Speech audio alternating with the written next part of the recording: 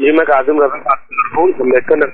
तो सर मेरा ये क्वेश्चन है कि जैसे मैं नमाज़ अगर मजलिस हो रही है तो नमाज़ पढ़ा हूँ तो नमाज़ मेरी पहले है मस्जिद पहले है नमाज़ पहले पाँच दस मिनट का फ़र्क हो जाता है और मजलिस हो रही है और नमाज़ का वक्त दाखिल हो गया तो क्या करना चाहिए? देखिए शिद्दत पसंदी जी।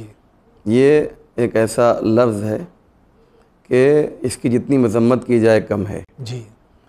और जहाँ भी शिद्दत पसंदी है वहाँ पर नुकसान बहुत से हुए हैं। बेशक जी। आज़ादारी और नमाज़ के मसले में भी शिद्दत पसंदी हो गई है। जी। मिसाल के तौर पे एक शख्स आया मस्जिद में उसने देखा कि नमाज़ मजलिस हो, हो रही है। और वो वो साहब कहता हमने हमको तो नमाज़ पढ़ना है। जी। तो ये गलत है। उन्हें क्या करना चाहिए? अगर मजलिस हो रही है तो मजलिस में बैठें मजलिस सुने और जब मजलिस ख़त्म हो जाए तो फिर नमाज़ पढ़ें। अगर नमाज़ का वक्त है तो। जी। लेकिन अगर नमाज़ का वक्त तंग है जी। अभी थोड़ी देर में नमाज़ ख़ज़ा हो जाएगी अगर मजलिस ख़त्म होने का इंतज़ार करेंगे फिर आप नमाज़ पढ़ लीजिए। जी। मजलिस होती रहेगी। जी।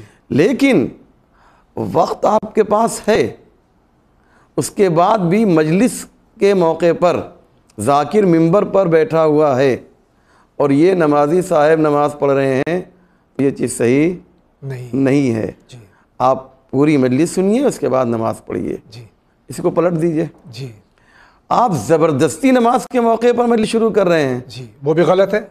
आप नमाज़ का टाइम मसलन साढ़े बारह बजे है जोहर असर की नमाज़ आजकल जो है टाइम मसलन जी। इस वक्त साढ़े बारह बजे है। जी। हर जगह अलग अलग टाइम होता है।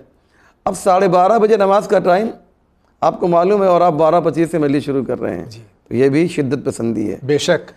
आपको मालूम है कि अगर दस मिनट रुक जाएँगे जी। तो नमाज़ का वक्त हो जाएगा नमाज़ जमात से कीजिए और फिर मजलिस शुरू कीजिए नमाज़ के बाद। और अल्हम्दुलिल्लाह आजकल ये हो रहा है और अल्हम्दुलिल्लाह। अल्हम्दुलिल्लाह जवानों में ख़ास तौर से बेदारी आई है और वो इस बात को समझ गए हैं कि आज़ादार की अहमियत क्या है और नमाजी की अहमियत क्या है। दोनों हमारे लिए बहुत ज़रूरी है। बेशक। मजलिस भी हमारे लिए ज़रूरी है। शहरग है हमारी मजलिस। बेशक।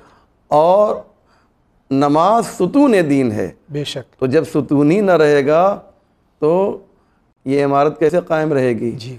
और हमारी शहरक काट देंगे तो हम ज़िंदा कैसे रहेंगे? जी। हमारी ज़िंदगी का नाम मजलिस है।